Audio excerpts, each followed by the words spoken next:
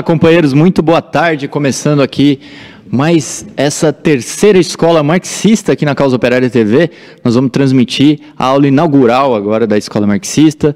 É, nós já fizemos aí outros dois cursos municipais né, da escola marxista. O primeiro foi, foi sobre o fascismo, o que é e como combatê-lo.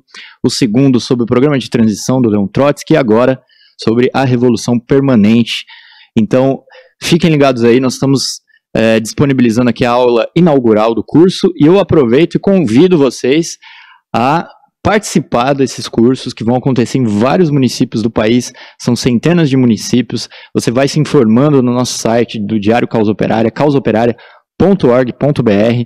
Lá é, no site nós vamos disponibilizando as datas, os horários e também a, a maneira como você vai se inscrever para receber o link do Zoom, né, da telechamada, para que você participe aí desses cursos municipais da sua cidade. É, se você tiver interesse em nos ajudar a organizar o curso na sua cidade, caso você perceba aí que ainda não tem data marcada, entre em contato conosco também. Nós é, organizamos aí a convocação e organizamos aí o curso para que ele aconteça na sua cidade. São mais aí, como eu falei, são centenas de cidades, cerca de 300 cidades é, em que esse curso vai ocorrer.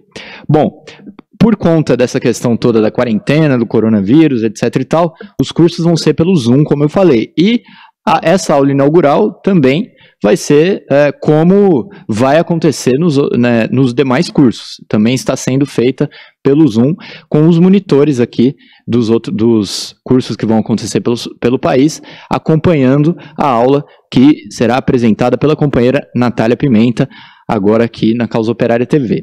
Então, fiquem ligados, se informem na nossa imprensa, nós vamos é, divulgando as datas, os, é, as cidades, os horários do curso pela nossa imprensa, tanto no Diário Causa Operária, causaoperária.org.br, tanto nos programas aqui da Causa Operária TV, né? Então fiquem ligados aí. Antes da gente passar a palavra para a companheira Natália, falando aí sobre a Revolução Permanente, é, eu vou mostrar aqui o jornal Causa Operária dessa semana, edição 1102, o Brasil rumo a, rumo a catástrofe, e já que a gente está falando de teoria, eu queria apresentar especificamente o segundo caderno, com um especial aqui sobre os 150 anos do nascimento do Lenin e com um texto do Leon Trotsky, né, sobre o Lenin, inclusive. Então, fiquem aí, adquiram o jornal Causa Operária com os militantes do PCO, o jornal mais antigo da esquerda brasileira, há 41 anos nas ruas, é, jornal independente, uma imprensa operária, uma imprensa comunista, jornal Causa Operária. Bom, eu vou passar a palavra para a companheira Natália. Eu queria pedir para todos os companheiros reforçar aí, os companheiros que estão acompanhando o curso pelo, pelo Zoom, que deixem os seus microfones desligados, é, que se inscrevam aqui pela, pela plataforma para fazer as perguntas ao final da exposição, né? E nós também vamos selecionar algumas é, das perguntas do chat aí do, do YouTube para fazer também. Né? Não infelizmente não vamos ter tempo de fazer todas, mas algumas perguntas serão selecionadas também para que o pessoal que está acompanhando pela Causa Operária TV possa participar. É, então, eu, agora eu passo a palavra para a companheira Natália Pimenta nessa aula inaugural da terceira escola marxista, é, a Revolução Permanente. É com você, companheira Natália. Boa tarde.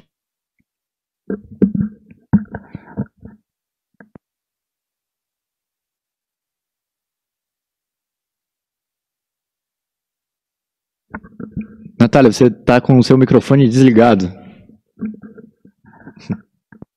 Sim, de novo. É, boa tarde a todos. É, vamos falar aqui sobre a teoria da revolução permanente, que é, foi uma teoria que foi é, formulada de forma mais acabada pelo revolucionário russo Leon Trotsky. É, nesse curso, a gente vai começar falando um pouco é, a história é, desse debate, né, de como surgiu o debate sobre as diversas formas em que se daria a revolução. É, esse debate ele surgiu primeiramente é, na Rússia, né, porque é, os revolucionários russos queriam é, estabelecer, precisavam de uma definir qual seria o caráter da revolução num país atrasado, como era o caso da Rússia. Né? Nos países capitalistas, né, segundo uh, o marxismo, já estava bem estabelecida o, que a revolução nos países desenvolvidos seria a revolução já diretamente socialista. Mas na Rússia se colocava o problema é, do desenvolvimento do capitalismo na Rússia e de como se daria essa revolução, sendo a Rússia um país ainda atrasado, que mal tinha aí o seu é, capitalismo desenvolvido, né? inclusive muitos setores que acreditavam que não havia ainda capitalismo na Rússia. É, bem, na segunda metade do, do século XIX, quem dominava né, o, o movimento operário, o movimento socialista na Rússia, eram grupos anarquistas, né, que ficaram conhecidos aí como populistas. É, esses grupos, eles utilizavam como método é, de luta o terrorismo. E é desse, desses anarquistas, né, desses grupos, que vão sair os militantes, né, principalmente num grupo chamado Terra e Liberdade, vão sair os militantes que vão dar início é, ao marxismo russo. Né? E temos que destacar aqui em especial o George Plekhanov, que foi quem deu uma principal contribuição teórica né, e é conhecido como o pai do marxismo russo. É, Plekhanov ele justamente chegou ao marxismo é, pela sua coerência, né, digamos assim, em relação à doutrina anarquista. A doutrina anarquista, como todo mundo sabe, é uma doutrina que é contra a luta política. Mas então Plekhanov é, ele estabeleceu um debate que justamente onde ele demonstrava que o terrorismo é uma forma de luta política. E desse debate ele tira a conclusão de que a luta política, e não a concepção anarquista, mas sim a luta política, é que poderia levar o, o povo né, e a classe operária à emancipação.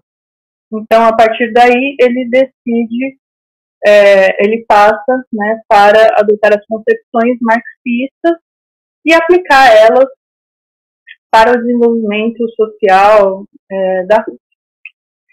Os populistas, eles tinham é, uma concepção e eles acreditavam que a Rússia ela tinha um destino especial, né? ela, o desenvolvimento dela e a sua passagem para o socialismo seria diferente do que aconteceu ou do que aconteceria, né, no caso, em outros países. É, eles, segundo a concepção deles, a Rússia ainda é, vivia num feudalismo, né, numa sociedade pré-capitalista, e é devido a um, as comunas rurais, né, que eram, eles consideravam que as comunas rurais, que tinham um sistema de trabalho coletivo, socializado, uma série de, de questões que não vem ao caso aqui, é, seriam um embrião do socialismo e permitiriam é, a Rússia pular essa etapa do desenvolvimento capitalista e ir direto ao socialismo. E o Plekhanov, é, conforme ele adota as concepções marxistas e procura analisar é, o movimento operário, o desenvolvimento da revolução na Rússia de um ponto de vista marxista, ele mostra que, na realidade, essas comunas rurais, né, chamado MIR, já estavam em desagregação, já estavam todas penetradas pelo, é, pelo capitalismo, né? E, portanto, a Rússia ela já estava né, na via de desenvolvimento capitalista. E é, essa definição né, do Plekhanov foi muito importante para o desenvolvimento né, posterior de todo o movimento operário, o movimento revolucionário na Rússia.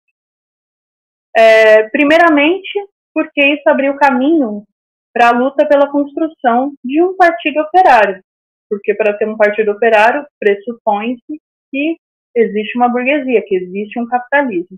E ele determinou com clareza que isso sim existia na Rússia, que o caminho era o caminho pregado pelos marxistas, era a construção de um partido operário para que pudesse levar a cabo uma revolução socialista. É, e também porque é, numa revolução, né, onde a burguesia assumisse o papel, o proletariado não tivesse ele dotado né, dessa teoria, ele ficaria, acabaria ficando a reboque da burguesia, pois não se constituiria como uma classe independente, com seus próprios objetivos. Então foi muito importante essa definição dele. E essa definição levou a outra, né, que é daí que se origina o debate, que é que a revolução na Rússia ela teria um caráter burguês. Significa que, é, como já existia ali um capitalismo na Rússia, esse capitalismo precisaria ser desenvolvido ao seu máximo porque justamente, né, como analisa o, o, o marxismo, o socialismo ele é resultado né, dessa, desse desenvolvimento das forças produtivas sob o capitalismo. Então, a revolução teria um caráter burguês e teria que desenvolver esse capitalismo. Né? Isso, é, inclusive, contribuiria para a revolução socialista. É, ele não via essa questão de que a revolução tem um caráter burguês como é, uma etapa rigidamente separada, como depois vai aparecer aí sob a concepção dos mencheviques e do próprio stalinismo.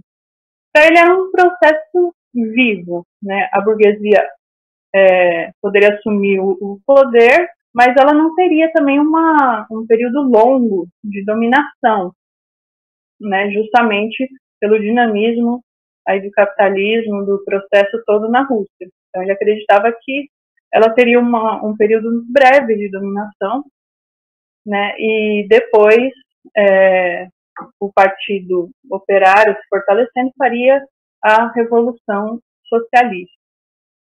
É, quer dizer, ele via como um processo, né, não como coisas totalmente separadas, como vai aparecer depois.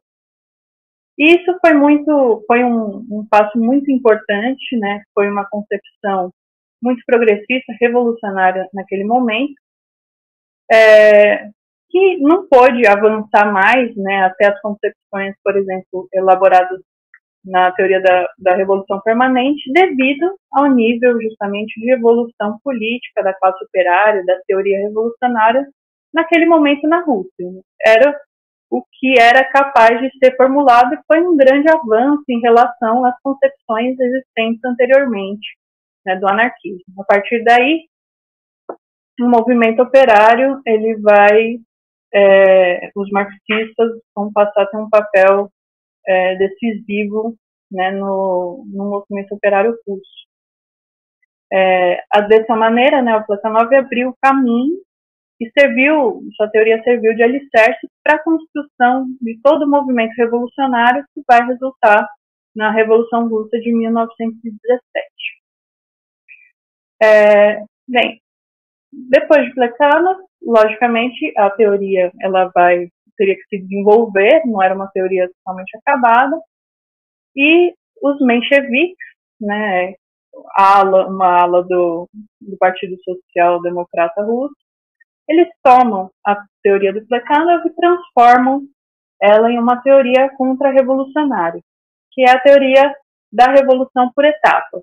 Que aí sim é, seriam, né, eles dividem a, a revolução em etapas rigidamente separadas. A primeira, a Revolução Burguesa, que seria comandada pela burguesia, é, quer dizer, um dogma, né, como a Revolução é burguesa, ela tem que ser comandada pela burguesia.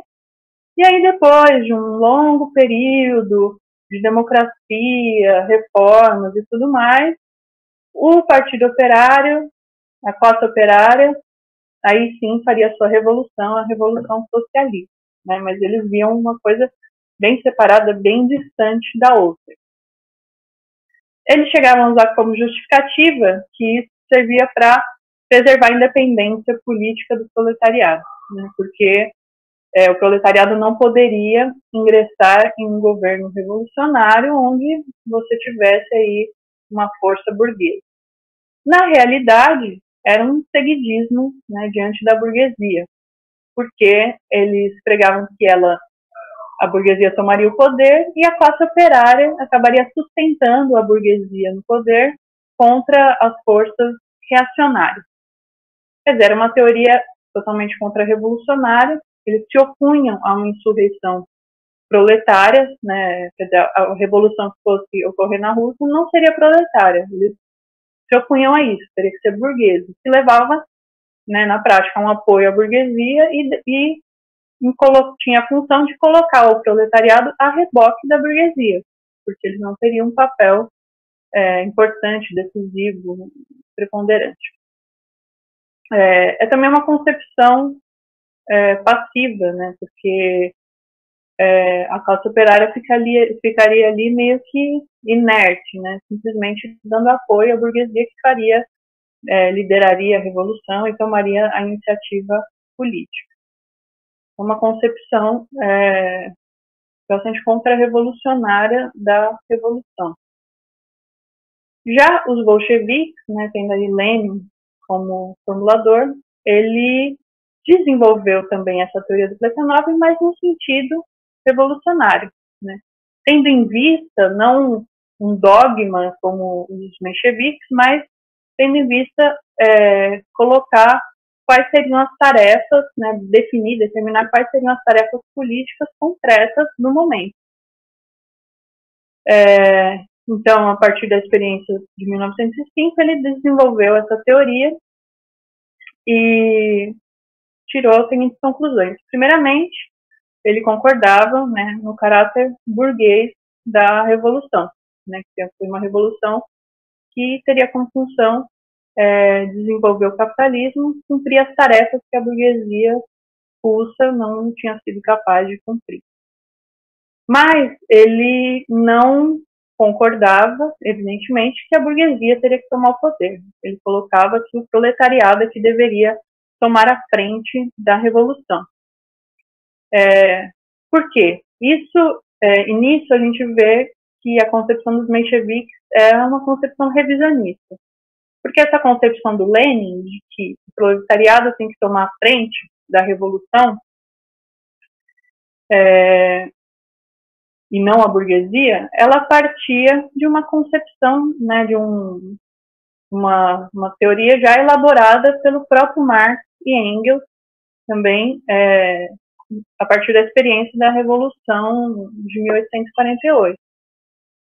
E eles, é, a partir dessa experiência, colocaram claramente que a burguesia não tinha condições é, mais de levar a sua a revolução burguesa até o fim. Onde quer que a classe operária aparecesse como uma força independente, a burguesia ela se desloca para o campo da contra-revolução. Então, quer dizer, a burguesia não tinha mais condições de cumprir um papel revolucionário, né? E na Rússia isso era é, especialmente verdadeiro, né? O Lenin colocou que a burguesia não tinha interesse em derrubar a autocracia, ela já estava ligada é, à monarquia, ao czarismo, às formas pré-capitalistas, de forma é, já indissolúvel, né? Como a gente pode ver até aqui mesmo no Brasil, né, onde a burguesia ela já está totalmente ligada às formas pré-capitalistas, ao latifúndio, e não tem interesse nenhum, por exemplo, em promover uma revolução que vá fazer efetivamente uma reforma agrária, uma revolução agrária que confisque o latifúndio e reparta as terras, isso é evidente. Então, ele colocou claramente que a burguesia não ia, não tinha condições de levar essa revolução a cabo e que o proletariado é que tinha que tomar a frente né, da revolução. No entanto, é, a questão agrária, justamente, ela se colocava como o centro né, do problema da revolução burguesa e especialmente na Rússia, né, onde o campesinato era esmagadoramente predominante na população. E então, é, como tendo que resolver esse problema, né, e também levando em consideração que o proletariado era uma minoria né, muito pequena do, da população geral da Rússia, dos trabalhadores e tudo mais, é, ele opõe aliança com a burguesia, que propõe os mencheviques, a uma aliança com o campesinato. Né? Ele propõe uma aliança dos trabalhadores, dos operários, com o campesinato. E essas duas classes formariam então um governo que ele é, chamou de a ditadura democrática dos operários e camponeses, né? Ela, essa ditadura, ela seria voltada para esmagar a reação das forças que foram derrubadas pela revolução, né? A autocracia, a burguesia, os latifundiários, etc. E ela teria um caráter democrático, que significa que ela não conseguiria escapar né, do marco do desenvolvimento capitalista, justamente porque os camponeses, isso ele tinha claro, é, não são uma força social socialista, né? E eles eram esmagadora, é, a esmagadora maioria né, da população e seria esmagadora, seriam predominantes também é, nessa, nessa revolução. Então ele, é, essa teoria dele, né, da, da ditadura democrática, do, dos operários camponeses, respondia a um problema concreto, né? Quer dizer, o proletariado tinha que levar à frente a revolução, mas ao mesmo tempo ele é uma minoria, né? O campesinato é a maioria. E a questão da revolução agrária é uma questão central né, no, na revolução, no desenvolvimento aí do capitalismo na Rússia.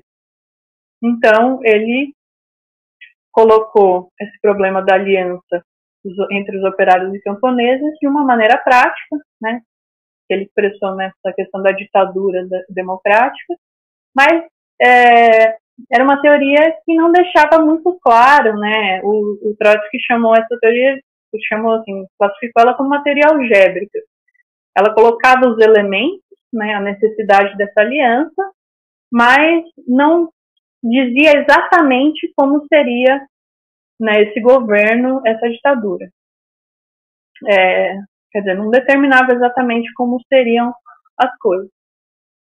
E nesse sentido que a teoria da revolução permanente do Trotsky, ela é, foi um desenvolvimento né, que, de, de todo esse processo que acabou né, no desenvolvimento dessa teoria que é mais é, acabada e que depois vai ser confirmada pela Revolução Russa de 1917.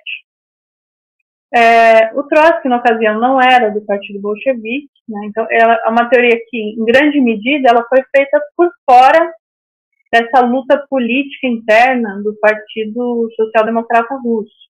Né, toda essa luta política entre mencheviques e bolcheviques e todo essa, esse desenvolvimento é, lógico aí, histórico né, da, do programa da, da teoria da revolução na Rússia. Então ele corre um pouco por fora. No entanto, ele, é, em 1905, durante a Revolução na Rússia, primeira Revolução, ele era presidente do Soviet de Petrogrado, né, o mais importante do país. Isso permitiu a ele observar o movimento né, operário, o movimento revolucionário, de um ponto de vista privilegiado, e permitiu também a ele tirar é, conclusões né, a partir dessa revolução que é, se mostrariam conclusões bastante acertadas. Mas, quer dizer, não são conclusões que se opõem é, necessariamente a, a, a, concepção do Lenin, né? Ela simplesmente é, elabora melhor a questão.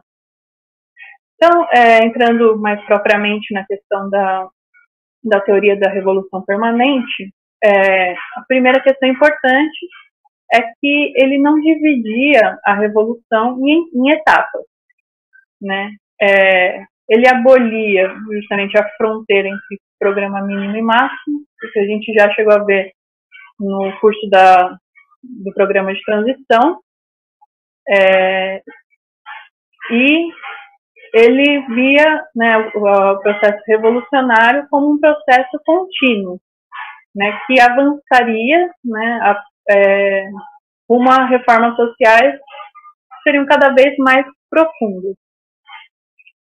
É, quanto ao caráter da revolução, né, embora a revolução tivesse que cumprir as tarefas é, da revolução burguesa, ele concordava com Lenin que a revolução seria, o proletariado teria que tomar a frente da revolução. Mas aí ele define mais claramente o problema de como seria esse governo é, revolucionário. E ele coloca que teria que ser um governo da classe operária, um governo proletário, quer dizer, a, a classe operária tinha que assumir, assumiria a liderança das massas oprimidas e os camponeses serviriam como um suporte né, dessa revolução, desse governo. Quer dizer, os operários se apoiariam sobre os camponeses. É, essa questão dos camponeses é importante, foi é, depois o stalinismo usou bastante contra ele esse problema dos camponeses, com várias calúnias, distorções. E então vamos explicar um pouco melhor né, essa questão de como que os camponeses entrariam no governo revolucionário. É, bom, Trotsky coloca que eles teriam um papel primordial na revolução, né, justamente por todas as questões que a gente colocou antes, na, quando falamos do, da teoria do Lenin, e por isso havia necessidade, efetivamente, de uma aliança operário-camponesa, como colocava o Lenin. É, no entanto, o Trotsky analisa que os camponeses eles não são capazes de constituir uma força política independente.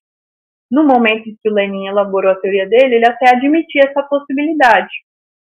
No entanto, Trotsky coloca que, é, historicamente, né, é, depois ele analisa também nas teses da Revolução Permanente, que são, foram feitas após a Revolução de 1917, que historicamente provou que os camponeses não são capazes de constituir uma força política independente, que era uma conclusão que ele já tinha tirado em 1905. É, todas as revoluções, revoluções camponesas que ocorreram desde o século XVI, né, é, analisa ele, sempre deram apoio a uma das frações da burguesia da cidade, né, e nunca é, se encaminharam né, em direção a um governo camponês.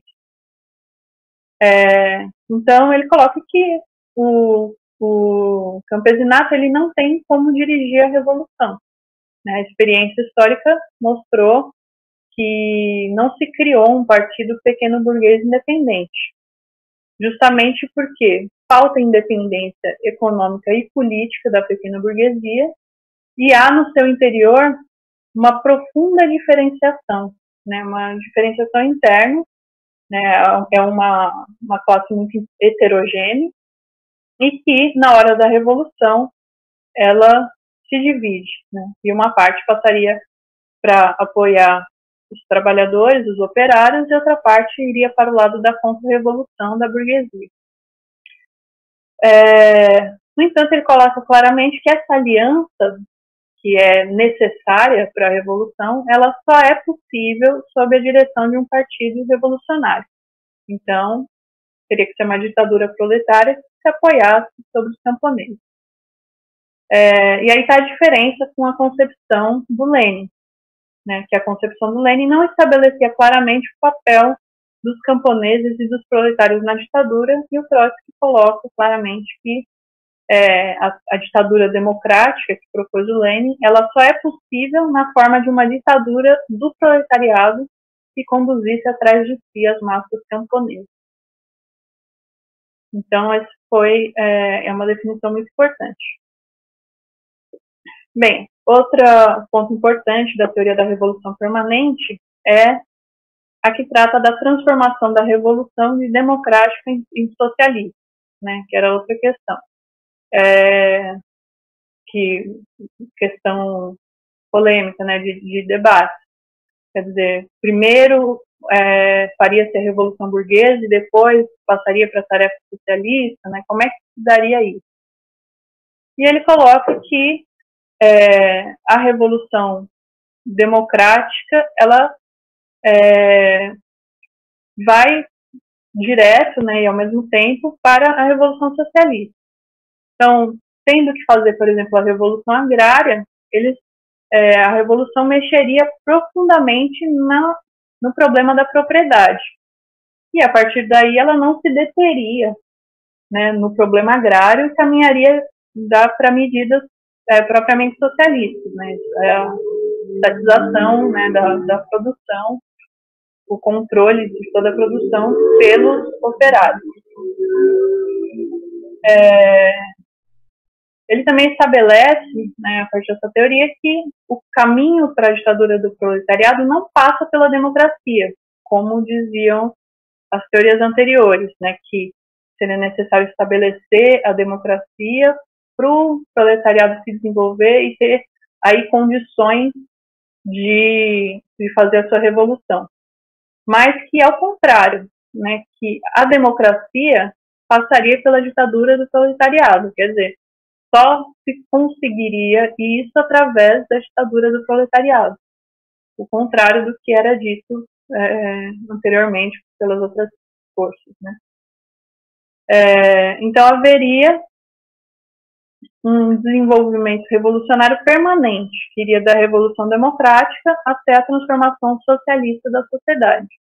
Quer dizer, as tarefas elas é, se colocam e seriam é, cumpridas, né, a, a, seriam cumpridas de modo é, simultâneo, né? Ao mesmo tempo que você faz a revolução agrária, você expropria os meios de produção capitalistas, né? Então, ela é, não seriam coisas separadas, né? Ela não se deteria, ela começaria é, pelos problemas democráticos e iria avançando naturalmente para uma transformação efetivamente socialista da sociedade. Um último ponto muito importante da, da teoria da revolução permanente é o caráter internacional da revolução. Então, o coloca que a questão do internacionalismo ele não é uma questão abstrata, né? Não é um problema abstrato de um dogma, digamos.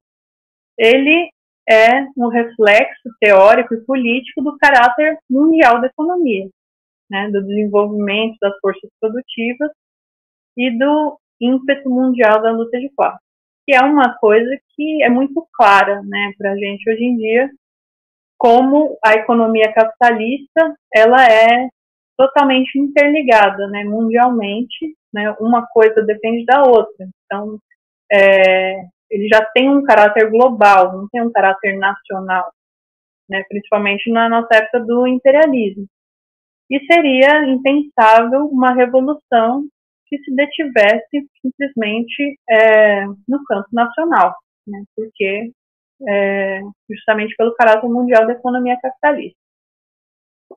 É, então ele coloca que a revolução nacional ela não é um fim em si mesmo, né, não é simplesmente é, não é o objetivo né, dos marxistas, dos revolucionários. A revolução nacional ela é simplesmente um elo da cadeia é, internacional. E, quer dizer, isso ficou também bastante claro com a própria Revolução de 1917 e as revoluções subsequentes, né? Como o, a ruptura né, de um elo mais fraco da cadeia capitalista acaba afetando todo o resto né, da cadeia. Né? E isso, quer dizer, a Revolução Nacional nos países atrasados, por exemplo, daria um impulso né, para é, a revolução nos demais países capitalistas, até que a, a, revolução se tornasse uma revolução é, que se daria em todos os países, né? E, portanto, que a revolução nacional ela só se completa com a vitória definitiva é, da sociedade socialista, do socialismo em todo o planeta. O socialismo não pode se dar isoladamente um país, porque o capitalismo também não é um sistema isolado em um determinado país. É, e colocava também, né, o que é evidente, que o destino da ditadura do proletariado num país atrasado ele depende do desenvolvimento da revolução socialista internacional. É, foi não o problema que aconteceu na Rússia, a revolução foi isolada e é impossível né, a construção de toda uma sociedade socialista que pressupõe um desenvolvimento superior do capitalismo em um país isolado e independente, por todas as razões que a gente já colocou. Então, é, só repassando os pontos da teoria da revolução permanente. O seu caráter contínuo, né, quer dizer, não a revolução não se dá em, em etapas, mas ela vai avançando, né, em, no sentido em, no sentido de reformas sociais cada vez mais profundas, em direção a reformas sociais cada vez mais profundas.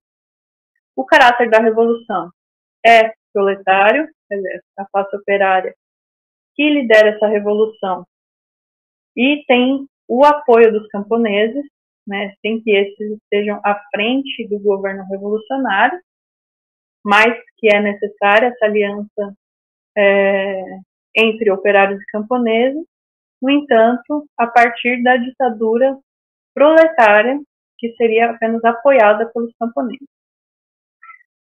E é, outro ponto é a transformação da revolução de democrática em socialista, né, justamente também esse caráter contínuo da revolução, é,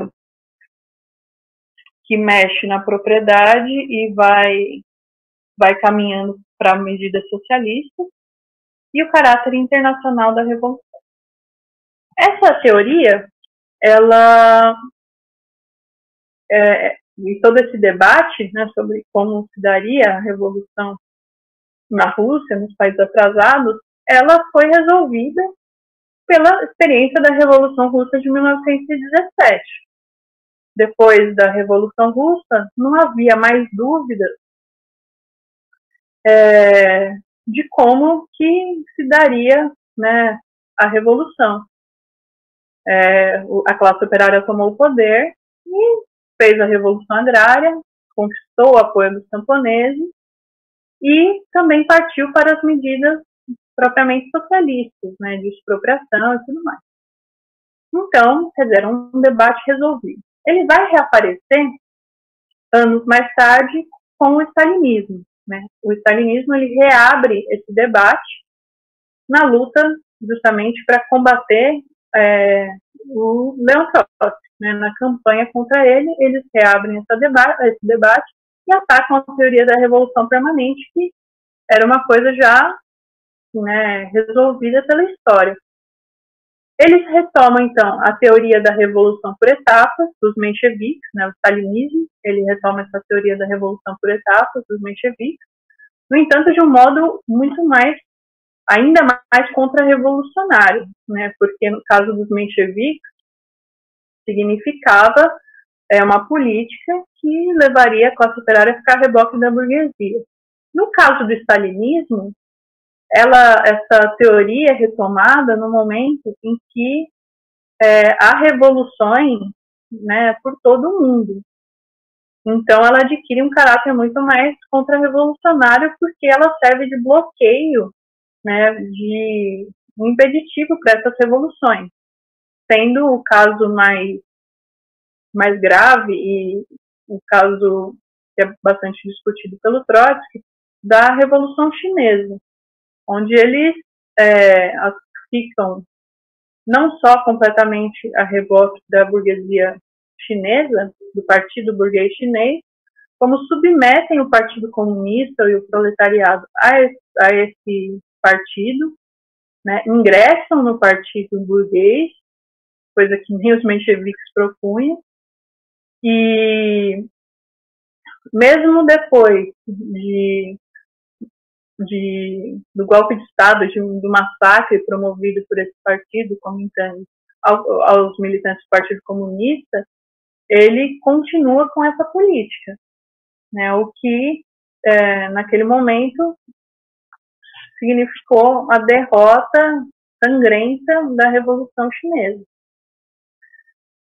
É, e além de retomar o problema a, da teoria da revolução por etapas, eles é, é, aparecem com a, a, teoria do socialismo num só país, que também abre uma lacuna entre a revolução nacional e internacional, bem diferente da, da teoria da revolução permanente, justamente, e também acaba servindo a propósitos muito contra-revolucionários, porque é, com essa teoria né, de que o socialismo poderia ser construído na Rússia e que, portanto, é, a Rússia, a União Soviética, deveriam ser defendidos né, a todo custo, é que eles vão esmagar né, e propor, é, com, a, com a sua política, vão acabar esmagando diversas revoluções né, em nome dessa suposta defesa da revolução na Rússia, né, do socialismo na Rússia, que era uma fantasia, na verdade. Né? Não, é, não, é, não existia de fato um socialismo na Rússia, e nem é, isso seria um motivo para acabar com as revoluções nos outros países. Pelo contrário, né? como colocou Trotsky, a revolução nos demais países fortaleceria a revolução, mas é uma coisa que naquele momento a burocracia stalinista não tinha nenhum interesse que acontecesse, porque isso ameaçaria sua própria dominação. É interessante também, por último, observar que essa teoria do socialismo no seu país, embora a gente conheça é, como uma teoria do Stalin, ela, na verdade, também o Stalin retomou essa teoria da, da ala extrema-direita do Partido Social Democrata Alemão.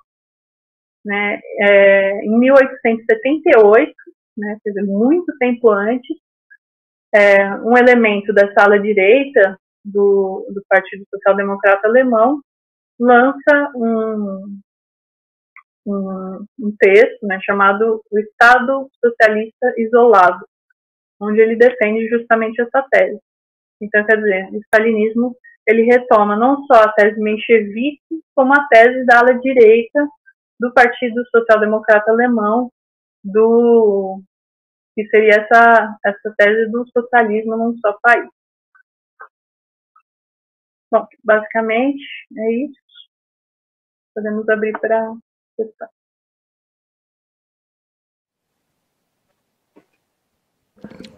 Bom, companheiros, é, antes da gente abrir para perguntas, eu queria, para você que chegou aí é, um pouquinho depois do início da nossa transmissão, só aproveitar para divulgar o que está acontecendo aqui. É a terceira escola marxista, né? É, nós já organizamos já o, o curso da, do fascismo, que é como combatê-lo, o curso sobre o programa de transição do Leon Trotsky e agora o curso sobre a revolução permanente. A escola marxista é uma atividade, né, é um curso de formação que o PCO está organizando em várias cidades do país. Né? Essa é a aula inaugural dessa terceira escola marxista, com a companheira Natália Pimenta, sobre a revolução permanente. Uh, e eu lembro também o seguinte: você que quiser aí organizar o curso na sua cidade, entre em contato conosco, que nós organizaremos com você o curso. E também se informe aí, já são centenas de cidades com o curso confirmado. Você se informa aí no Diário Causa Operária, causaoperária.org.br e uh, se informa onde haverá o curso, uh, os locais, as datas e tudo mais. Lembrando também, por último, que essa escola marxista, essa terceira escola marxista, por conta dessas questões da, da quarentena, etc e tal, nós estamos fazendo por teleconferência. Então, você pode aí mandar para a gente, é, ou melhor, você se inscreve aí no nosso site, quando, né, assim que você se informar sobre quando será na sua cidade, se inscreve para que a gente possa mandar o link aí da, tele, da teleconferência. Eu queria agradecer aqui ao João Vitor, que contribuiu com o super chat e também acabou de renovar aqui seu status de membro do canal e também o super chat do Carlos Augusto que disse o seguinte: trotskismo é o contrário de stalinismo. Então, aproveitar para agradecer aqui os companheiros que mandaram aqui super chat na nossa transmissão. E como nós estamos na teleconferência, eu quero ver se nós já temos pergunta dos companheiros que estão aí acompanhando. A primeira companheira que eu estou vendo aqui com a mão levantada é a companheira Isadora. Então eu vou passar a palavra para a companheira Isadora para fazer a primeira pergunta. Natália, a minha dúvida é mais relacionada se Cuba e Venezuela são é um exemplo de como eles os, os países, esses países não conseguem desenvolver, desenvolver o socialismo de fato por conta do, de não ter outros países que também são socialistas e consigam aí é, avaliar que existe um desenvolvimento do, do socialismo como um todo no país. Isso daí exemplifica, de fato, o que a teoria da revolução permanente fala, né? Que precisa ter um caráter internacional.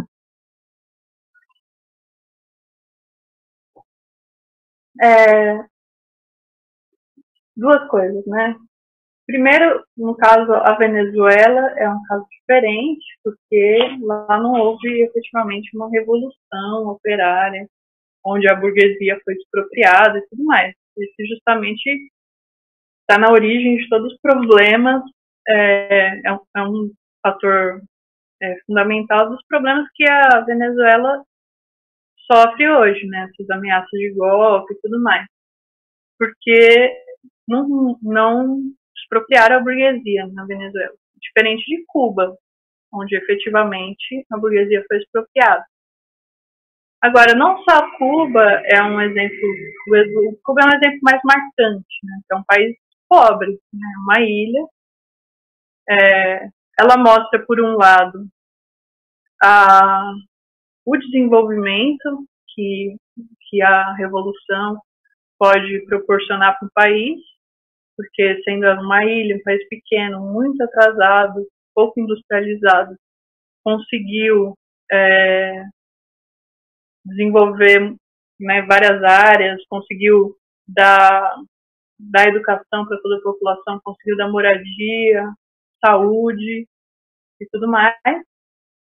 E, mas, por outro lado, ela demonstra claramente a inviabilidade de você, a partir dessa revolução, mais isolado, isoladamente dos outros países, conseguir chegar ao socialismo.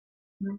Mas não só a Cuba, como todos os outros países que fizeram a revolução, a própria Rússia, sendo um país bem maior, bem mais rico, demonstrou que, tendo ficado isolada, ela a revolução acabou retrocedendo, que é o, o motivo né, da ascensão da burocracia stalinista né, na, na União Soviética.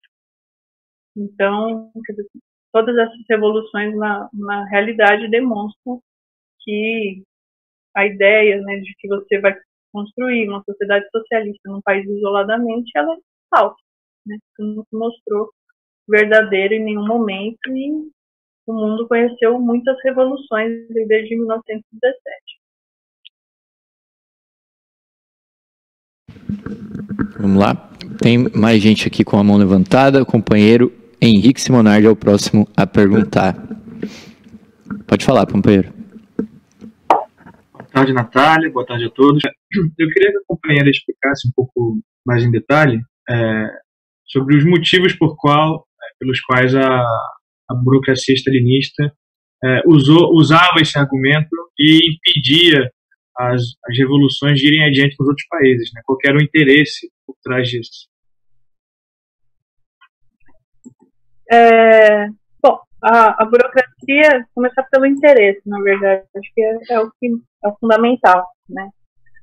A burocracia, ela não se apoiava sobre é, diretamente sobre a revolução, o povo né, organizado, sobre, etc. Ela justamente conseguiu é, estabelecer sua dominação porque é, ela conseguiu fazer, porque conseguiu não, ela, essa revolução efetivamente retrocedeu, né, em razão do seu isolamento, de que não conseguiu é, superar, né, determinados problemas, né, próprios de um país atrasado e tudo mais. Então essa burocracia acabou é, se instalando aí no poder. Se, quer dizer, a burocracia ela é resultado do retrocesso da revolução, não da própria revolução. Então, se a revolução acontecesse em outros países, né, isso daria impulso a um novo movimento revolucionário na Rússia que é, acabaria por tirar o poder da burocracia, né, acabaria por restabelecer é, aquilo que foi criado na Revolução de 1917. Isso é, significaria o fim da dominação da burocracia.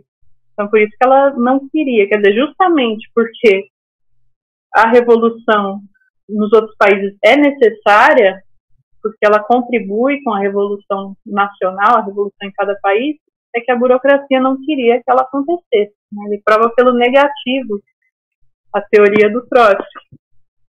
É, quer dizer, pelo seu interesse em manter, em, da burocracia em manter a sua dominação. Então ela precisou é, procurar é, teorias que servissem a esse propósito. E a teoria do socialismo no seu país, por exemplo, era muito adequada, né? quer dizer, impedir que a revolução se expandisse e que isso é, levantasse novamente ali a classe operária russa e tirasse a burocracia do poder.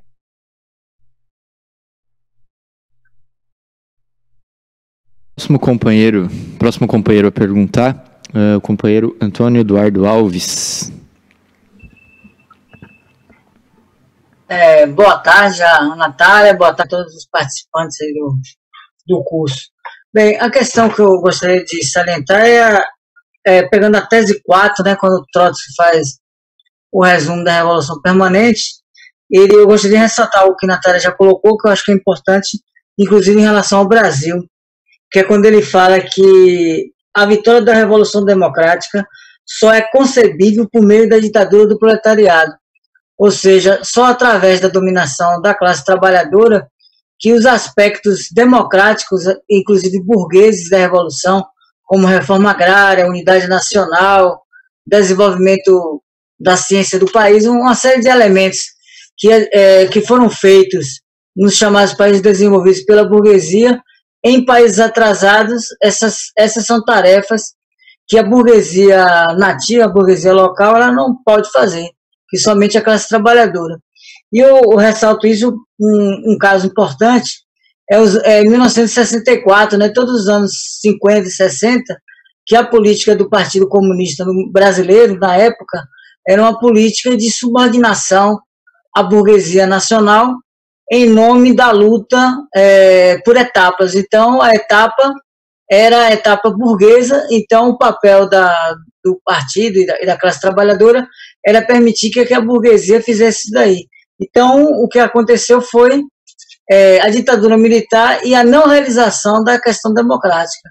E hoje em dia nós estamos vendo uma repetição, de certa forma, dessa política desastrosa, que é a ideia de frente ampla. Ou seja, em nome da luta em defesa da democracia, genericamente, se faz um acordo com a burguesia nacional, com os elementos, inclusive, mais reacionários da burguesia, como nós estamos vendo como é o caso de Maia, Dória e vários outros. Né? Então, na verdade, o que era uma política do stalinismo, é, em, em, oposição ao trotskismo, e que o Partido Comunista Brasileiro fez aqui nos anos 60, nós estamos vendo a esquerda nacional repetindo essa política, que é a política de subordinação dos trabalhadores à burguesia. E nem mesmo o que se chama de cláusulas democráticas ou revolução democrática vai ser feito. Então, somente a independência política pode, pode conquistar a, a, as, vamos dizer assim, as políticas transitórias, as bandeiras transitórias. É isso, obrigado.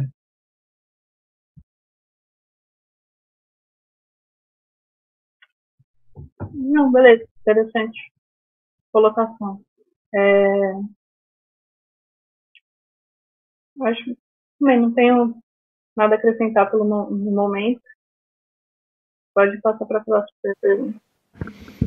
Certo, próximo a perguntar é o companheiro Vinícius, do Rio de Janeiro. Vou começar a falar de onde são os companheiros, também para vocês terem uma ideia aí do, da, da, dos participantes. Bom, Vinícius, do Rio de Janeiro. Olá, boa tarde. É, eu entendo que a revolução permanente se opõe ao que pode ser chamado da, das revoluções por etapas. Mas eu não entendi exatamente onde é que fica a questão do socialismo num só país. Meio que ficou solto, assim, de onde é que surgiu isso. Eu não consigo entender como é que alguém de esquerda, por exemplo, consegue defender uma teoria assim, falando, ah, socialismo num só país, e só no outro país, não no meu país. Então, pelo menos, eu acho que eu não entendi exatamente o que seria essa ideia desse socialismo num só país.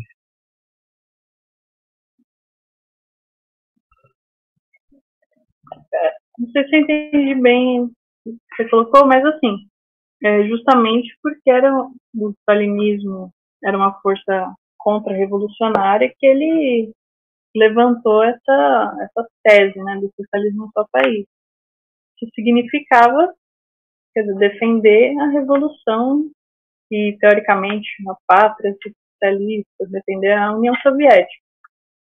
É, então, em muitos momentos, eles colocaram que era preciso sacrificar a revolução em determinado país, que isso ameaçava a União Soviética, que era o, era o mais importante, era o, o socialismo ali implantado no país tal, como se efetivamente eles tivessem alcançado o socialismo, eles faziam essa propaganda, o que é totalmente falso. Mas, quer dizer, colocou como que uma força de esquerda defenderia, mas justamente não era uma força de esquerda, uma força contra-revolucionária, a burocracia soviética. É, mas acaba que muita gente hoje que se considera de esquerda defende essa política stalinista é, por esse motivo. Fala, não, a União Soviética estava ameaçada, então a prioridade era defender a União Soviética. Só que é falso por esse motivo, que a, a revolução nos outros países, ela fortaleceria a defesa da União Soviética assim, contra uma invasão e tudo mais, inclusive contra a reação dentro da própria União Soviética, não enfraqueceria. Quer dizer, o stalinismo colocava assim, se você fizesse a revolução é, em outros lugares e tudo mais, sei lá, a burguesia é, tinha, na verdade, assim, eles faziam acordos com a burguesia imperialista de vários países para proteger a União Soviética, também é outra fantasia, ao invés de fazer a revolução nos países para esses para o proletariado desses outros países apoiarem a União Soviética. É uma fantasia total.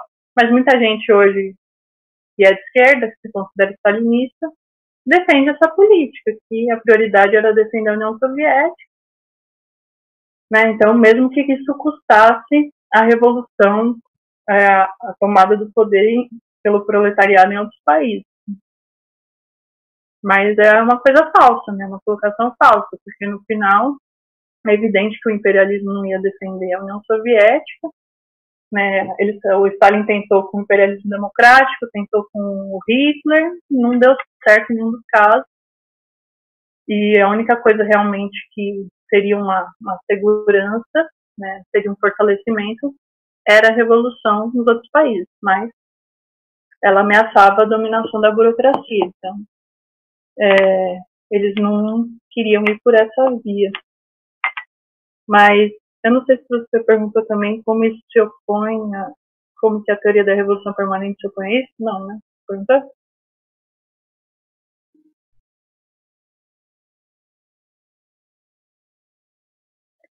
Eu entendo que se opõe, mas eu não entendo como é que. É tipo, tem a revolução permanente, e eu imaginaria que isso se oporia à revolução por etapas. A ideia do socialismo num só país, para mim, seria uma terceira. Um terceiro fator, assim, que eu sempre vejo ligado revolução permanente versus socialismo num só país. Mas para mim o que faz sentido é revolução permanente versus revolução por etapas. E o socialismo num só país seria outra coisa. Eu não entendo por que sempre tem essa relação direta. É porque é um dos aspectos essenciais da teoria da revolução permanente, que ela também, além de é, não ser por etapas, não se deter no, no, na revolução democrática caminhar para as tarefas socialistas, etc., ela também não se detém, né, não pode se deter no terreno nacional. Ela tem que é, expandir para o terreno internacional. E só vai ser vitoriosa efetivamente, ele coloca, quando, quer dizer, todo o planeta for socialista. Senão, a revolução, ela ficar isolada, ela está fadada a retroceder e tudo mais. E não a retroceder, como aconteceu na, na União Soviética, que foi dominada por uma burocracia e tal, também a não avançar no sentido do socialismo, que não é possível. Então, quer dizer, para ter socialismo, segundo a teoria da revolução permanente, a revolução tem que avançar além das, é, das fronteiras nacionais, né, que é uma coisa evidente. E a isso, o Stalin opunha a construção do socialismo num só país, tipo, na União Soviética. Quer dizer, a revolução permanente é também essa também é permanente nesse sentido, ela também caminha do nacional para o internacional. Tipo, ela se detém em um só país, ela não, não foi, não é completa. Ela só vai ser completa quando o socialismo efetivamente for vitorioso no mundo todo.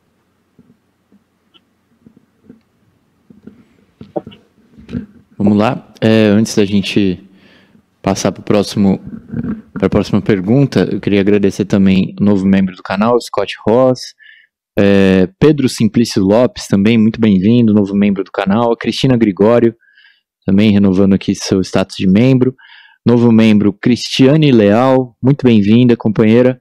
Rodrigo Rabelo, também, novo membro do canal. É, e Felipe Rosendo, também novo membro do canal, muito obrigado. E o próximo a perguntar é o companheiro Emanuel Lobo, lá do Paraná.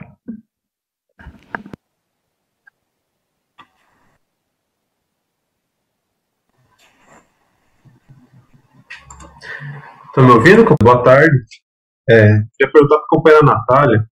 É, a primeira vez que apareceu o termo teoria da revolução permanente foi com o próprio Marx. Né? É, então eu queria entender melhor é, a posição do Trotsky. Né? Ela é um, uma defesa do internacionalismo marxista, mas até que ponto ele coloca mais para frente, se ele, ele só avança o que já tinha sido colocado por Marx, ou se é uma outra abordagem do termo, da teoria da revolução permanente. Outro ponto é o exemplo, né? É, o Trotsky usou como exemplo a própria Revolução Russa, né? Como o Pereira explicou. É, isso, isso que ele coloca sobre os países atrasados e tal, como que isso se encaixa aqui no, no Brasil? Esse negócio de, de, ter resquícios, resquícios do, nem cita no caso da China, né? Ter resquícios do feudalismo e tal. Como que isso se aplica aqui no, no Brasil? É... Então, a teoria da evolução permanente, ela desenvolve, ela precisa mais é, do que já tinha sido elaborado por Marx e Engels. Porque é evidente, não é que ela não se opõe, ela desenvolve. Por quê? Porque tinha problemas que não estavam colocados para eles. Então, eles não, não resolveram esses problemas. A gente só resolve os problemas que estão colocados. É, mas a teoria da revolução permanente, ela parte toda do marxismo. Né? Então, a Revolução Internacional está no Manifesto Comunista. Não tem dúvida quanto a isso. É, o outro é que teria que explicar como que isso é marxista, né? Porque está bem claro, né? No Manifesto Comunista, operário de todo mundo unido. Tipo, não, não tem muita brecha, né? Para falar que não tem que ser internacional. É, inclusive, você tem a internacional, primeira, segunda, enfim. É, isso aí é difícil falar que, enfim, é, é o marxismo, é assim. E a outra questão é a da que ele parte para que o Lenin também partiu desse princípio e o Trotsky só desenvolve é o problema do do caráter contra-revolucionário da burguesia. Isso foi estabelecido também pelo Marx e Engels que é, a partir do momento que a classe operária começa a ter um papel independente, a burguesia não consegue, não leva mais adiante a revolução, não tem mais um papel revolucionário, porque ela se vê ameaçada pela classe operária. Então ela vai para o campo da reação. Então, isso já tinha sido estabelecido claramente também por Marx e Engels. E o Trotsky simplesmente parte é, disso, que já estava estabelecido, dessa análise, é, para tirar as conclusões lógicas. Bom, se a burguesia é contra-revolucionária, ela não vai fazer a revolução aqui na Rússia. Não vai fazer em nenhum país atrasado. Quem tem que tomar a frente disso é a classe operária, que é a classe revolucionária. Aí o Lenin tinha colocado a questão dos camponeses, que tem um interesse direto né, nessa questão.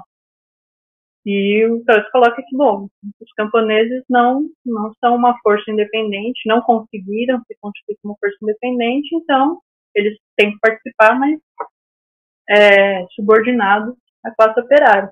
Então, quer dizer, aquilo que o, que o Marx colocou, ditadura do proletariado, é o que vale. É isso mesmo. Tipo, é, ele colocou a questão da ditadura do proletariado para os países já mais desenvolvidos, já propriamente capitalistas, né, desenvolvidos, europeus e tal, mas isso vale também para os países atrasados, com a diferença de que nos países atrasados a classe operária vai ter que resolver também os problemas que a burguesia não resolveu. No final das contas é isso, né? É, simplesmente confirma, no final das contas, o, a teoria marxista, né? É, que quando surgem problemas novos, né? Então surge o debate, como resolver isso, né? Porque que a classe operária tome o poder na Alemanha e parta para o socialismo, tudo bem. Mas e aqui que nem tem capitalismo direito, como é que ela vai fazer? Mas no final a solução é a mesma. O proletariado tem que tomar o poder e resolver isso. Então, é simplesmente um, um desenvolvimento, uma realmente precisar melhor que Marx e Engels já tinham falado, mas aí por causa da Rússia dos países atrasados, de modo geral. É, e aí, bom, dito isso, a revolução, a teoria da revolução permanente é a teoria para, por exemplo, o nosso caso aqui né? É um país que não fez a Revolução Burguesa, é um país dependente, né? É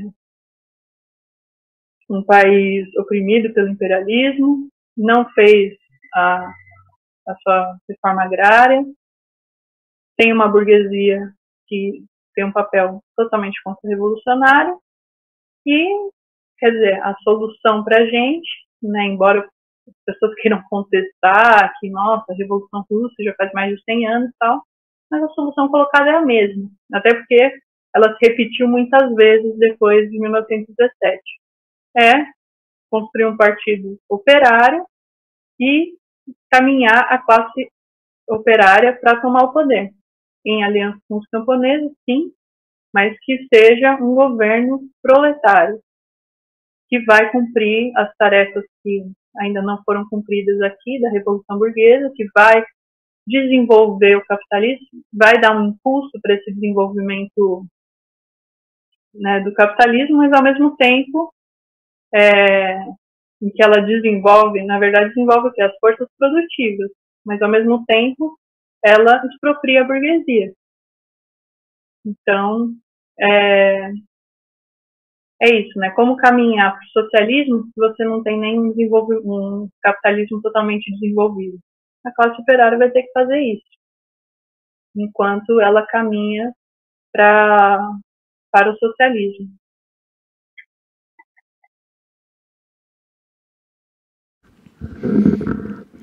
Bom, próximo companheiro a perguntar, seu companheiro João Pimenta, aqui de São Paulo.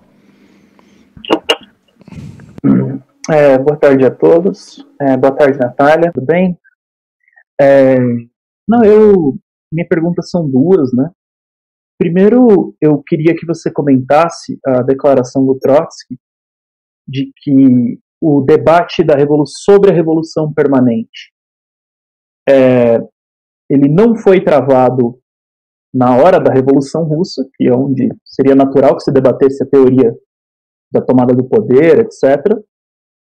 E ele foi ser travado depois da morte do Lenin com o, o stalinismo, e que e ele inclusive coloca que a teoria do socialismo em um só país, mais do que uma teoria dos stalinistas, era uma explicação teórica para tanto o que eles queriam fazer e tanto para a oposição deles ao trotskismo, como oposição, uma formulação teórica para se opor à posição que eles discordam. E nem tanto uma formulação livre e espontânea, ela vai surgir de, durante o debate. E segundo, é, na mesma linha da questão do stalinismo, eu queria que você comentasse o seguinte: os stalinistas eles vivem da, dessa discussão entre com o, o, o trotskismo e uma das armas que eles querem se utilizar é do problema de que o Lenin não teria aprovado a, a teoria da revolução permanente.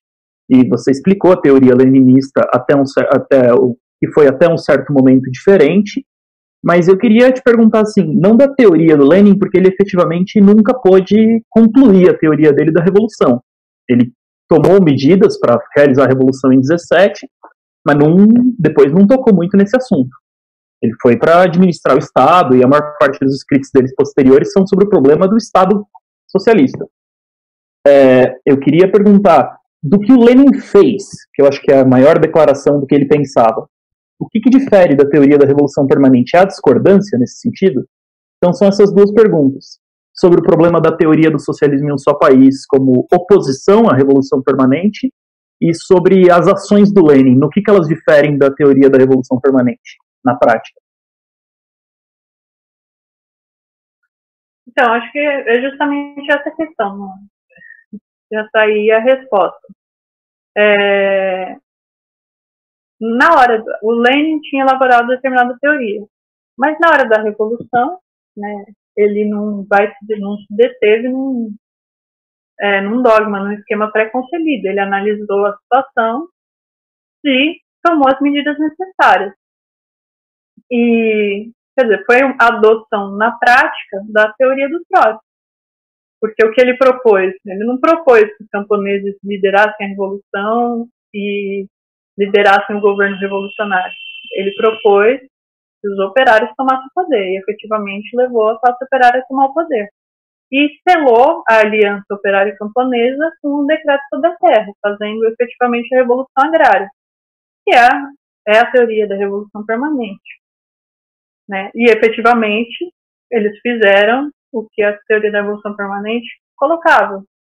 Fizeram as tarefas democráticas capitalistas, burguesas, né? Revolução agrária, por exemplo, e caminharam para, ao mesmo tempo, fizeram, tomar as medidas socialistas, criaram burguesia e tudo mais. Então, quer dizer, ele, na prática, é, adotou as teses da Revolução Permanente. E justamente por isso, né, quer dizer, é uma discussão que os stalinistas fazem, mas que é limitada, porque justamente porque na prática o que era uma teoria, o que era um debate, se mostrou como uma realidade.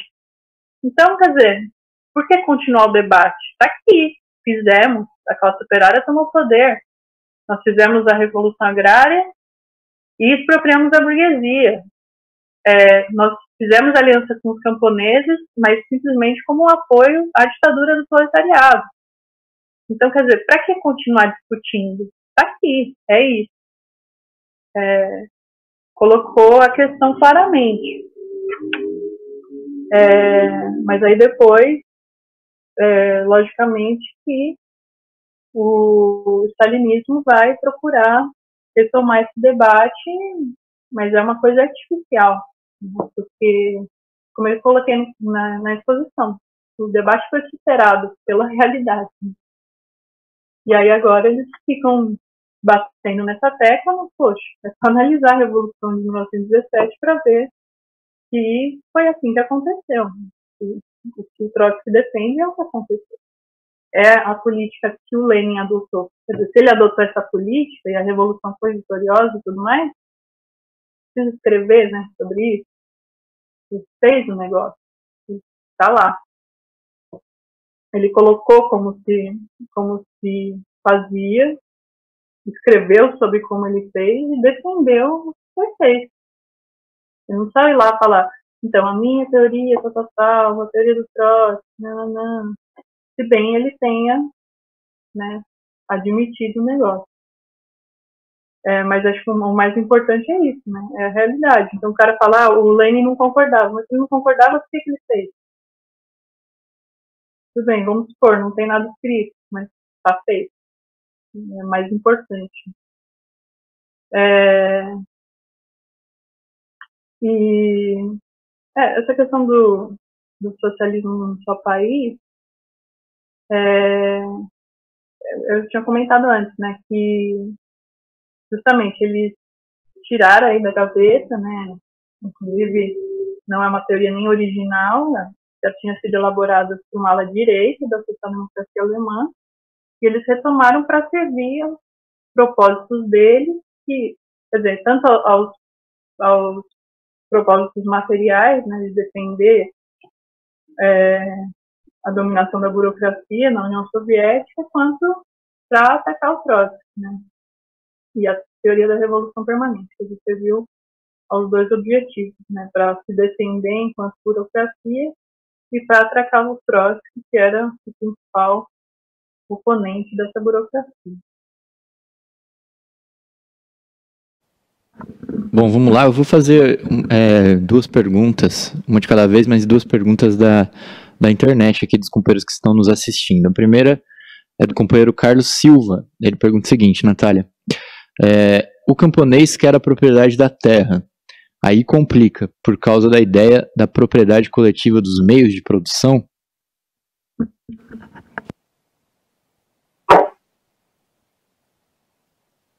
Pera, é, não sei se compreendi totalmente pergunta. O camponês. É... Quer que repete? Repete. O camponês quer a propriedade da terra. E aí complica por causa do meio, por causa da ideia da propriedade coletiva dos meios de, de produção? Bom, é, vou responder o que eu entendi. Justamente esse problema do camponês, que não é, não é uma classe socialista. Ele é, é parte da pequena burguesia e é a propriedade, justamente, né? De propriedade privada e tudo mais, da terra. É, então, justamente esse problema estava no centro de debate é, do problema, na verdade, aí com é, Lenin e Trotsky. Né? Camponeses são importantes, mas eles não são uma força socialista. Então, como é que vai se dar essa aliança entre um setor que é socialista e um que não é? E aí, essa que era a questão, né? É, eles têm que se aliar, mas como? Os camponeses tomam poder, mas aí a gente não vai caminhar para o socialismo, porque se eles estão no governo, eles vão barrar essa essa via socialista. Quer dizer, os, sei lá, os trabalhadores vão ter que ceder é, para os camponeses. Enfim, como que aconteceria isso? É, era essa questão que estava no, no, centro do problema, mas eles resolveram isso é, efetivamente estatizando a terra, né? então quer dizer, as terras eram do Estado, mas os camponeses podiam é, utilizar essas terras como bem lhe aprouver. Então, quer dizer, isso eles acabaram resolvendo dessa maneira, porque efetivamente, just por, pelo fato deles defender, defenderem a propriedade da terra, é que o, se colocou esse problema aí de como seria a aliança camponesa-operária. Mas, no final das contas, foi resolvido teórica e praticamente dessa maneira. Selou-se aliança com a Revolução Agrária mas a propriedade da terra não pertencia, no caso, aos camponeses. Isso é um debate também já antigo aí no, no, no movimento revolucionário russo tal, e tinham setores né, da, dos camponeses é, que defendiam que a terra fosse estatizada, que não fosse propriedade de ninguém, que seria, inclusive, mais proveitoso para os camponeses. É, mas, efetivamente, esse mesmo é o problema, né? Se tratar de uma classe, no final das contas, que é a propriedade, né? Defende essa propriedade, ainda pequena. Então, quer dizer, não é uma classe efetivamente socialista. Não sei se eu entendi da, da pergunta. Bom, a próxima pergunta da internet, do chat, é da companheira Elizabeth Novi. É, Para quem não conhece o assunto e ouve Revolução Democrática versus Ditadura do Proletariado, à primeira vista soa democrática positivo, ditadura negativo. Como desmistificar esses termos? Desculpa, a ditadura democrática não, perdi alguma coisa no começo. É, ela diz o seguinte: para quem, pra quem é, não conhece o assunto e ouve Revolução Democrática versus ditadura do proletariado, fixou o seguinte à primeira vista: que democrático seria algo positivo e que ditadura seria algo, negativo. E aí ela diz como desmistificar esses termos. Pois é, é são termos científicos, né? A ditadura, na realidade, ela não se opõe, quando a gente fala de ditadura do proletariado, ela não se opõe à democracia, se opõe à ditadura da burguesia. Então, é isso que a gente precisaria é, esclarecer né, para as pessoas. Que o que a gente vive hoje não é uma democracia, é uma ditadura da burguesia, que se reveste de diversas formas. Ora uma ditadura mais aberta, ora um, uma ditadura de aparência né, democrática, mas de fato o que existe é uma dominação completa da, da burguesia. E o que a gente propõe é a dominação da classe operária, né, a ditadura da classe operária. É, são termos que servem a propósito de, de análise e tudo mais, né? mas teria que esclarecer é, o que eles significam efetivamente. Né? Quer dizer, que eles não se opõem a uma democracia, se à ditadura da burguesia. O que a gente vive hoje não é uma democracia, é uma ditadura da burguesia. E nem é, no nosso caso, nem é muito democrático. Né? Inclusive, não é nem estável. A gente já está vendo isso aí. É, Agora, em relação à democrática, acho que já tem uma confusão, né?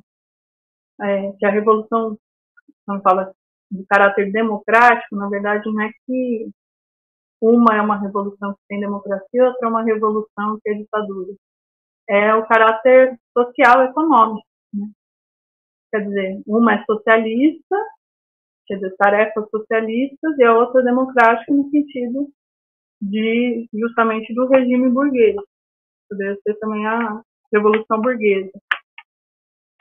Ficaria mais claro. Né? Então, quando a gente fala da revolução a gente está falando de revolução democrática, revolução burguesa, revolução socialista, é o conteúdo social, econômico da, da revolução. A ditadura do proletariado já seria é, um pouco diferente. Essa questão, ditadura da burguesia e ditadura do proletariado.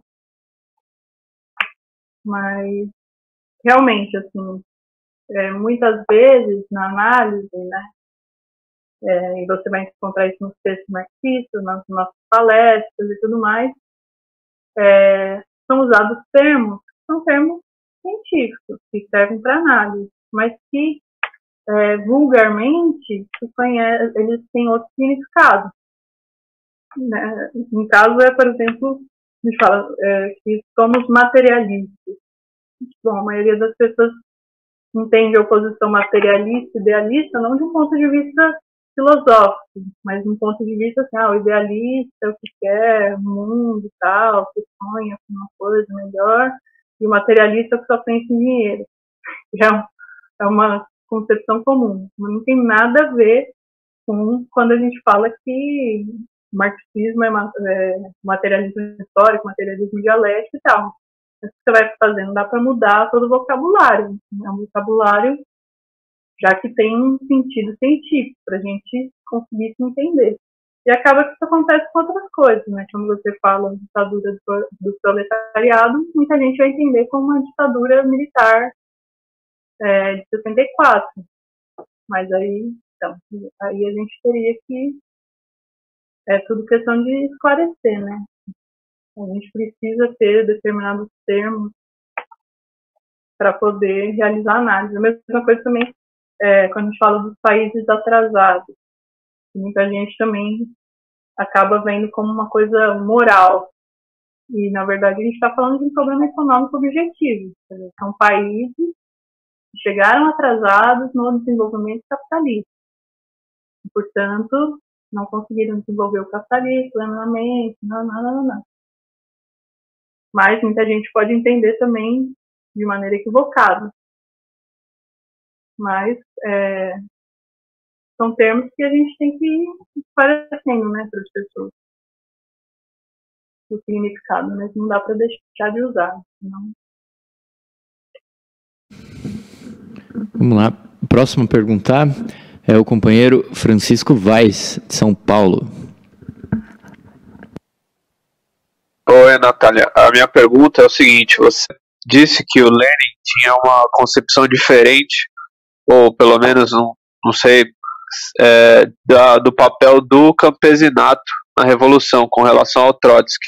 Aí eu queria ver qual seria essa diferença da, da concepção que o Lenin tinha do papel do campesinato na Revolução com relação ao que o Trotsky tinha.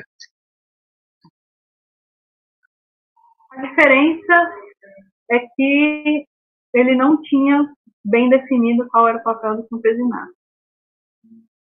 Então, ele é, admitia algumas hipóteses, é, mas efetivamente ele não colocava, é assim que vai ser, é, sabe? Então, é uma coisa, o Trotsky, por isso justamente colocou que era uma fórmula algébrica, que faltava determinar né, aí alguns fatores. E o principal deles é como que seria né, essa esse governo operário camponês italiano, como se daria, que papel cada um ocuparia, não estava muito claro na, na teoria do Lenin.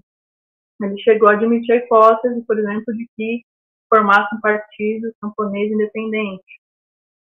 É, chegou a formular a hipótese de que é, os camponeses assumiriam a frente do governo e depois, só que, que o proletariado levaria, conseguiria levar adiante a resolução das tarefas socialistas. Mas, enfim, eram, digamos, hipóteses de trabalho, tá? Ele elaborou a questão, o central, ele estava correto, que era necessário para a Revolução Ser vitoriosa a, o apoio dos camponeses, mas ele não colocava a coisa de maneira muito bem definida. E aí, justamente, a teoria do Trotsky definiu esses papéis. Bom, está correto.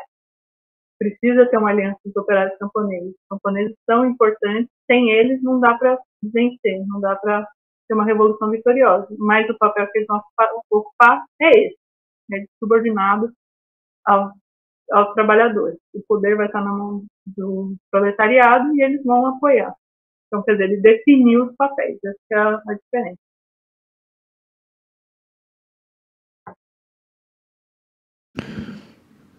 Isso aí. A próxima pergunta é a companheira Isadora Dias, aqui de São Paulo também. Natália, você respondeu uma pergunta e você comentou que aqui no Brasil, é, se houvesse uma revolução é, com a classe operária no poder, é a classe operária que colocaria em, é, em desenvolvimento o capitalismo para, assim, pelo que eu entendi, desenvolver a teoria da revolução permanente para o socialismo.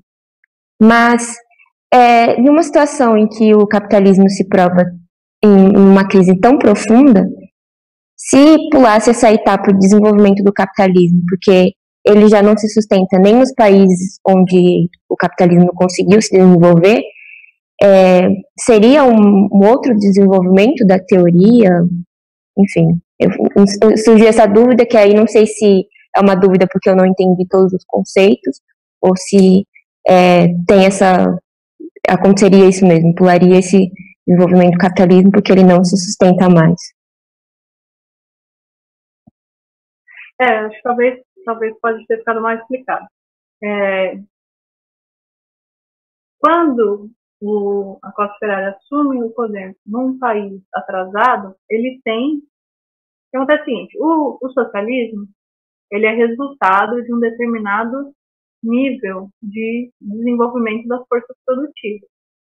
Então, quer dizer, o capitalismo desenvolveu as forças produtivas até um ponto em que é possível uma sociedade socialista, onde você seja capaz de produzir para todos e tudo mais. E também é, ele está, digamos, está maduro as condições para ele ser derrubado, que agora ele também, não só ele desenvolveu, ele desenvolveu até determinado ponto. Para continuar desenvolvendo, a gente precisa de uma outra forma de produção, seria socialista. Do jeito que, que as coisas se dão agora, a relação capital-trabalho e tudo mais, ele não, ele é um entrave para esse desenvolvimento da, das forças produtivas. É, mas acontece o quê? Quer dizer, num país como os Estados Unidos, a classe operária toma o poder e caminha para o socialismo, porque as forças produtivas lá são muito desenvolvidas. Mas se você pega é, o Brasil, ele fechou o aplicativo. Foi. Eu estava na reunião e ele fechou o aplicativo da é... Mas se você pega um país como o Brasil, o desenvolvimento das forças produtivas aqui é muito inferior. Então, quer dizer, a gente tem que alcançar o nível de desenvolvimento, digamos, que tem os Estados Unidos, para aí a gente caminhar para o socialismo. Então, só que quando a gente fala isso, quer dizer, não significa que é, e essa justamente era a confusão entre os socialistas russos. Muita gente entende assim, bom, para a gente chegar no nível dos países avançados, precisa a burguesia tomar o poder e fazer o que elas fizeram nos países já desenvolvidos, e aí a gente toma o poder. Bom, não, não vai acontecer isso. A burguesia é incapaz de acabar com as amarras feudais tipo no Brasil, a gente tem o latifúndio. A burguesia não vai expropriar o latifúndio. E sem expropriar o latifúndio, sem fazer reforma agrária, não tem desenvolvimento capitalista pleno. Você precisa fazer reforma agrária, você precisa fazer uma série de coisas para que é, o país possa se desenvolver e chegar no nível é, como os países europeus e tal. Só que a burguesia não vai fazer isso. Então, o que, o que o Trotsky colocou justamente o proletariado tem que tomar o poder e fazer isso. Então, quer dizer, não é desenvolver o capitalismo enquanto sociedade, enquanto sistema econômico, exploração do trabalho. É desenvolver as forças produtivas como foram desenvolvidas no, nos países avançados. E é fazer, e como se faz isso? Tem que fazer tarefas que a burguesia não fez. De forma agrária, principal delas. Mas aí é o que ele coloca, a burguesia não vai fazer. Então, os trabalhadores têm que fazer essas tarefas que seriam da burguesia, porque a burguesia não tem mais condições. Então, é disso que se trata. Né? Quando fala é, desenvolver o capitalismo, na verdade é desenvolver as forças produtivas. E para fazer isso tem que cumprir tarefas que seriam da burguesia, mas que ela já não consegue cumprir. Tipo, a reforma agrária não é uma tarefa socialista, entende? É uma tarefa que seria capitalista, seria da burguesia. Mas os trabalhadores vão ter que assumir essa tarefa e desenvolver isso. Quer dizer, não dá para pular, você precisa, por exemplo, alcançar os países desenvolvidos no seu nível de desenvolvimento produtivo para conseguir efetivamente caminhar para o socialismo. Mas aí está colocado, vai ser tudo feito ao mesmo tempo. Você não vai manter as relações de produção capitalistas. Você vai passar o poder para os proletariados. E eles vão ter que fazer esse desenvolvimento.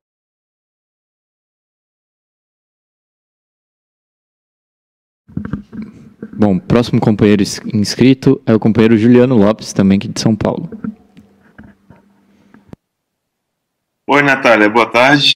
É, bom, o partido tirou recentemente, diante da crise, um programa de luta e com 32 pontos sobre a questão da crise econômica e do coronavírus.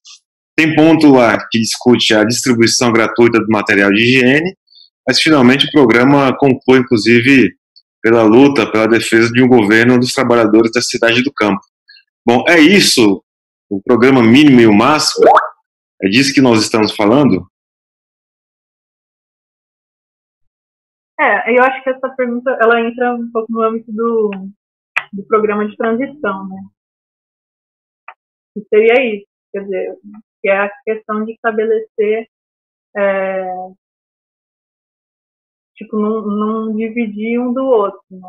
É estabelecer uma espécie de ponte. Então você reivindica o que seria reforma, digamos, mas ao mesmo tempo você faz aquelas reivindicações e tal que é, encaminham para a tomada do poder pela classe operária. Mas isso tem mais a ver com o programa de transição, no caso, do que com propriamente a revolução permanente.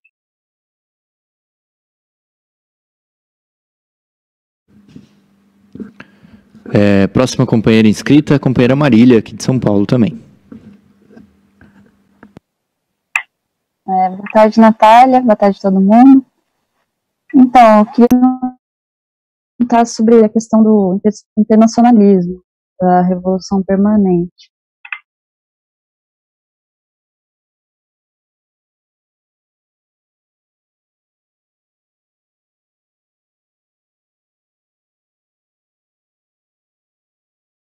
É, a União Soviética ela é tomada ali pela União Soviética pelo Stalin. Eu travei? Travou. Fala tudo de novo. Bem, é, voltando aqui, boa tarde, gente. É, então, eu queria fazer uma pergunta sobre a questão da, do, inter, do internacionalismo é, que Trotsky coloca na, na questão da revolução permanente. Bem, é, depois da Revolução Russa, a gente viu que a União Soviética ela tinha primazia política na terceira internacional suficiente ali para dar é, o tom político, a orientação para as outras revoluções nos outros países. É, no caso, como era o stalinismo, ele, o Trotsky mesmo falou que ele era o grande, ele organizou as diversas derrotas ali das outras revoluções. A minha pergunta é a seguinte: se isso é uma coisa específica desse período, porque a revolução foi a primeira, primeira revolução operária foi ocorreu na, na Rússia, ou se isso é uma coisa geral.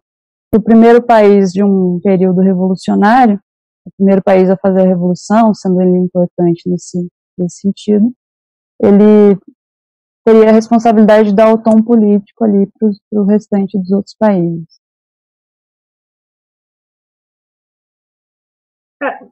No caso, acho que foi uma, uma questão meio específica ali da, daquele momento, do que aconteceu com a União Soviética. É claro que, por exemplo, se você é, faz uma revolução no Brasil, por exemplo, vai ter influência né, grande, por exemplo, sobre o resto dos países da América Latina, dependendo até de outros lugares, da África. Lógico, porque você fez a revolução.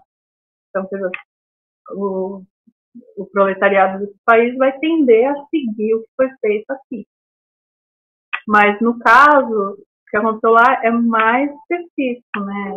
Quer dizer, foi a, realmente a primeira revolução, é, que efetivamente, onde efetivamente os trabalhadores chegaram no poder, e isso conferiu uma autoridade muito grande né, para os dirigentes da União Soviética.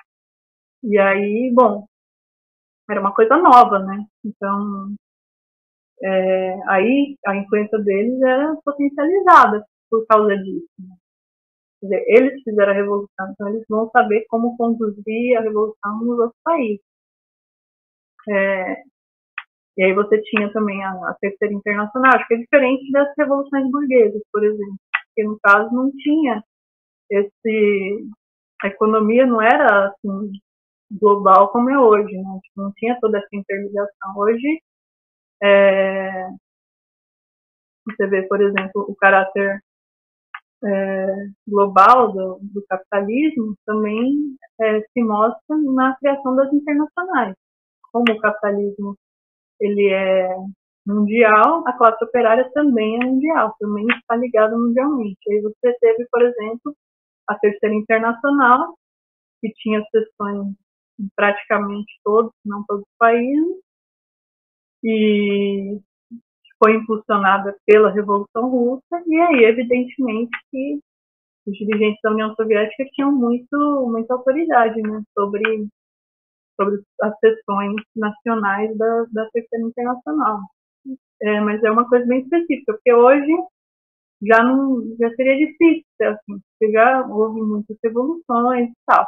Claro que sempre tem uma influência, né? teria. Se você faz uma revolução aqui, vai ter influência. Mas não vai ser no nível que foi é, o da União Soviética.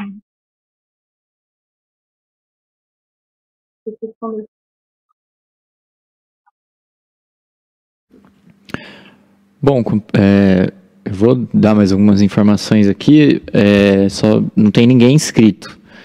Então eu vou dar os últimos, vou dar alguns avisos, aí se, se tiver mais algum companheiro para se inscrever, eu fico no aguardo aqui. Mas é, só lembrando para todo mundo aí que está assistindo pela Causa Operária TV, algumas, algumas é, alguns anúncios aqui. É, fiquem ligados aí, daqui a pouco, às 18 horas, tem o programa Na Zona do Agrião, aqui na Causa Operária TV. Estaremos aqui falando sobre esportes, futebol e às oito e meia da noite o resumo do dia, essa programação do dia de hoje aqui na Causa Operária TV. Bom, e lembrando que essa, esse é o curso, é, a aula inaugural da terceira escola marxista, né, que nós estamos realizando, nós estaremos realizando em centenas de municípios do país. Né, essa é a aula inaugural com a companheira Natália, Natália Pimenta.